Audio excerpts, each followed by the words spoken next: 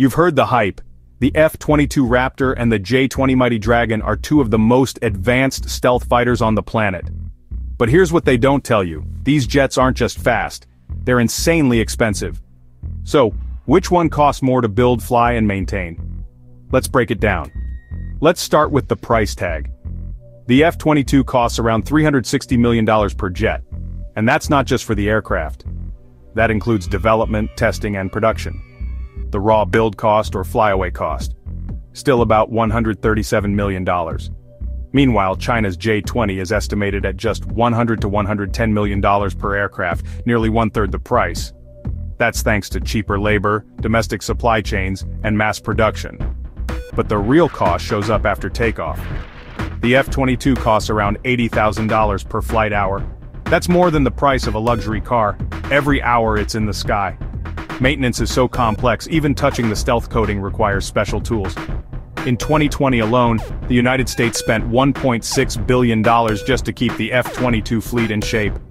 The J-20's exact maintenance costs aren't public, but analysts estimate it's cheaper per hour, maybe around $40,000 to $60,000 per flight, thanks to simplified logistics and lower costs in China. Still, it's no budget aircraft. Now zoom out. The entire F-22 program cost over $67 billion for just 195 jets.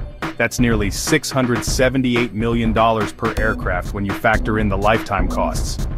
The J-20 program, estimated under $30 billion with over 200 aircraft already produced, and still growing. That makes the J-20 much more affordable to scale across a large air force. So what's the bottom line?